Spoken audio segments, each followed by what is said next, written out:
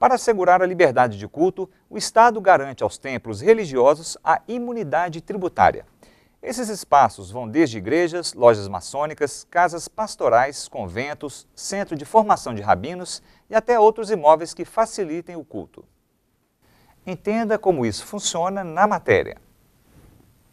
A imunidade tributária conferida pela Constituição aos templos religiosos de qualquer culto atinge todos os impostos que incidem sobre o patrimônio, a receita e os serviços prestados por estas entidades.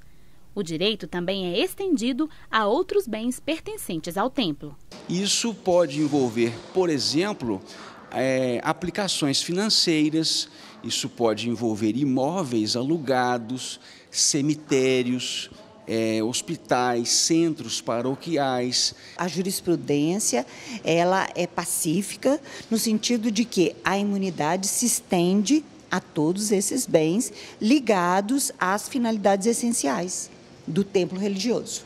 O direito à imunidade tributária não pode ser confundido com isenção tributária. A isenção ela pode vir a ser revogada por uma lei posterior, enquanto a imunidade ela é irrevogável, eis que considerada uma cláusula pétrea na Constituição porque é um direito individual.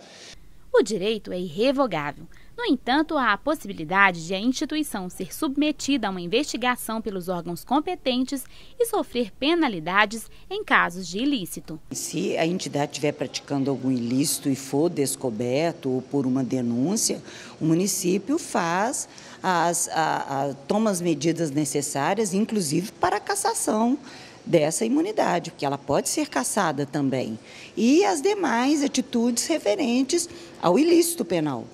Apesar de criar polêmicas, de acordo com o especialista, a imunidade é essencial para a pluralidade religiosa. Para que existe essa imunidade? Ora, ela existe para dar concretude exatamente ao princípio da liberdade religiosa e evitar que o Estado possa, através da tributação, representar um constrangimento a práticas religiosas. Isso iria prejudicar principalmente aquela, aqueles grupos religiosos que estão ali é, ligados a parcelas mais pobres da população.